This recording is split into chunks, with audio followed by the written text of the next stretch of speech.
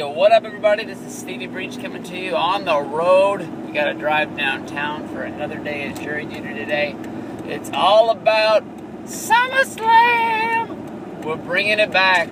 I can't believe it. The people over at WWE, uh, wait a minute, hold on. WrestlingDVDNews.com. I don't think I will ever get used to calling them that. They will always be WWE DVD News to me. Have uh, dug down deep and they have found the. Uh, SummerSlam poster uh, leaking out the official main event of the show. Of course, everything is subject to change. John Cena could lose an arm tomorrow, or Brock Lesnar could go out hunting and be eaten by a bear or something like that. But it looks like we're actually going to get Cena versus Brock. This is the match that I was talking about the other day when I was predicting Cena to win. Uh, the money in the bank to give us that sexy main event there going in at SummerSlam that honestly is, I think, the biggest match WWE could give us right now. I think that, you know, last year, uh, you know, we really had the big push of Daniel Bryan, uh, how he, you know, he was the first guy to ever pin a member of the Shield, how he was the uh, um, first uh, first time he you know, came on Monday Night Raw beat a, a, major star like Randy Orton, where they did the big angle where uh, he jumped outside into the breaker boards and he got the stinger and uh,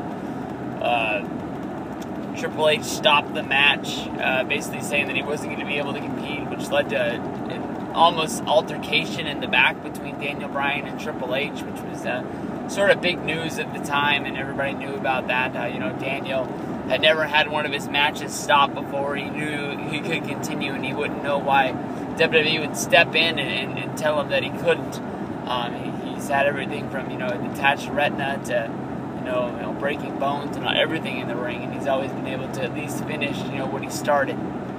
But uh, Cena versus Brock is gonna be a big one. Honestly, when it comes down to it, you know, uh, especially with the whole, you know, thing going down, that um, Brock's gonna want to get that win back. You know, with uh, with Lesnar always coming around saying the one and twenty-one and one.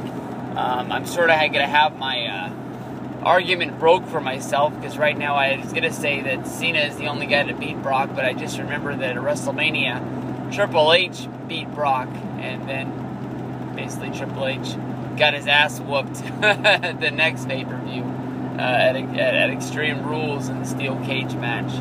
But, uh, uh, you know, Brock's going to want to get that back. I think that that was honestly a mistake right off the bat for WWE to, to have, you know, John Cena beat uh, Brock Lesnar. I don't know if that was uh, John stepping in and saying he wanted to win the fight, or if it was just WWE and Vince McMahon trying to, you know, poke their chest out and try to show Dana White that their guys are tougher. Uh, honestly, when Brock went uh, to UFC after he left um, WWE and he was able to win the championship, that was some good ammunition for us wrestling fans because a lot of the true, you know, UFC fans, you know, they like to say that their stuff's real and that you know there's no you know determined outcomes or storylines or anything like that. It's just two dudes getting into the octagon, beat the piss out of each other, and one guy comes out the winner. That's what they like, what they like. But um, you know, when a guy who is champion of WWE goes over there and proves uh, that he is one of the toughest men in the world and that he could, uh, you know, beat all of their guys, you know, they really don't have a whole lot to throw back in our face. Uh, I know a lot of people who sort of thanked me for him being so badass in UFC, of course, becoming the poster boy. But I'm pumped. Uh, I know a lot of people out there are thinking that Axxess is, uh, you know, dead. I, I, really am still believing. I'm still pulling through, saying, you know, hey, um, there's gonna be something good for us. You know, if not Axxess. You know, I'm, I'm definitely still thinking that Sunday Axxess is still a doable deal um, Saturday, maybe they can do something. I just don't see them bringing all those people who bought the package down on a Friday afternoon, checking into their hotel room and saying, all right, you guys be good now. I'll see you on Sunday morning. There's got to be something, if not anything.